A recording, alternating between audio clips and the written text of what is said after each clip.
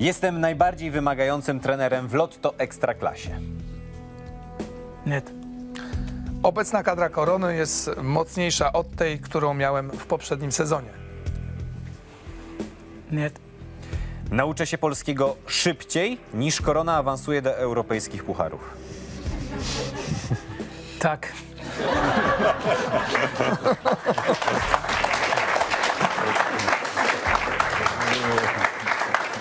Naprawdę wierzę, że piłkarze z siódmej ligi niemieckiej daliby sobie radę w Ekstraklasie.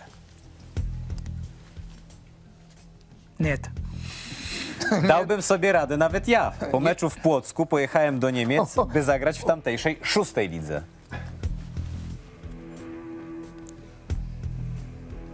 Nochmal, nochmal.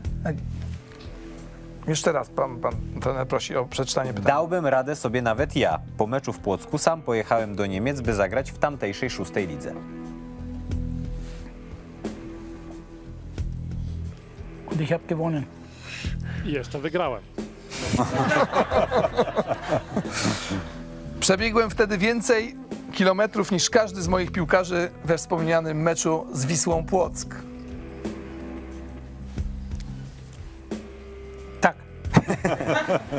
Temperament mam włoski, ale to z niemieckiej szkoły futbolu czerpię największe wzorce.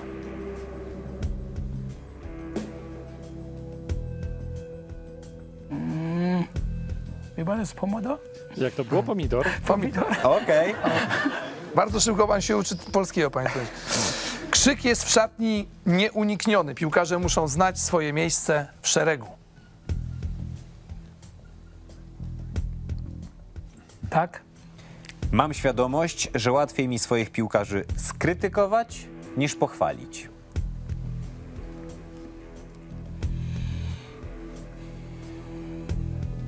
Nie tak. Sowas auch?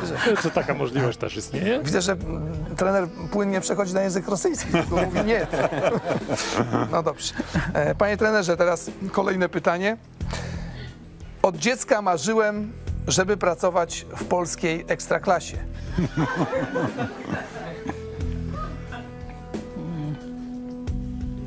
Da. Da wusste ich noch nicht, dass es die Nie polnische wiedziałem Liga noch... wtedy jeszcze, że w ogóle jest Wolgap. e, polska ekstraklasa.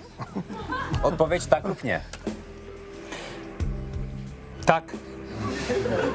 To ciekawe. Kuchnia tylko i wyłącznie włoska. Gdyby nie pewna restauracja w Kielcach, cały czas chodziłbym głodny.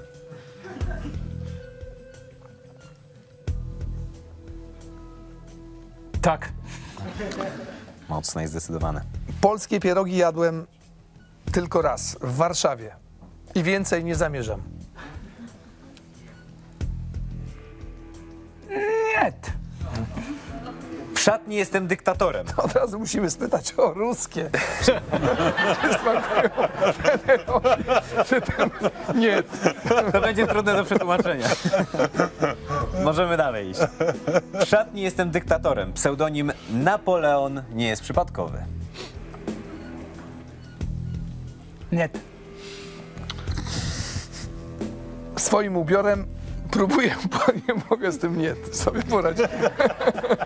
Przepraszam. Swoim ubiorem próbuję potwierdzać, że Kielce to polska stolica mody.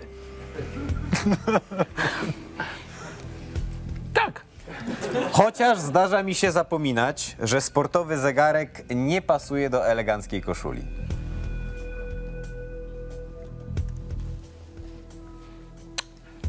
Tak.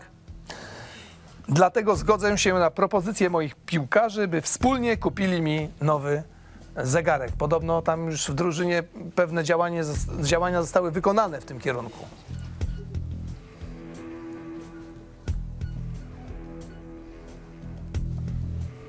Tak. Zainspirowałem Kielczan do noszenia żółtych koszul i swetrów.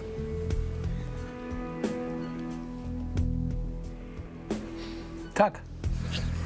Po wygranym spotkaniu nigdy nie zmieniam ubrań. W następnym meczu oczywiście.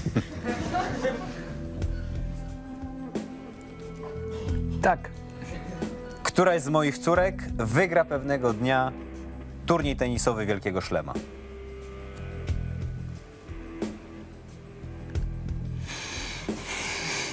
I don't know.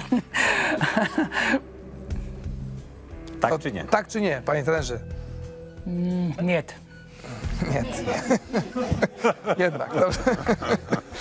Sam też lubię czasem zagrać. Jestem tylko minimalnie słabszy niż moje 12-letnie dziecko. Tak. Do dziś mam zeszyt, w którym notuję, o której piłkarze kładą się spać.